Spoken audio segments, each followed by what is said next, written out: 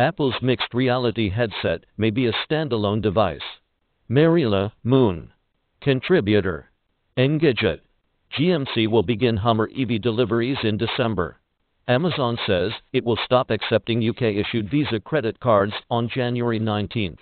Apple's long rumored mixed reality headset will be powered by two processors, according to renowned analyst Ming-Chi Kuo in Kuo's latest research report seen by Macrumors and 9 to 5 Mac. The analyst said that the device will have a main processor with the same computing power as the M1 chip and a secondary processor to handle all sensor related computing.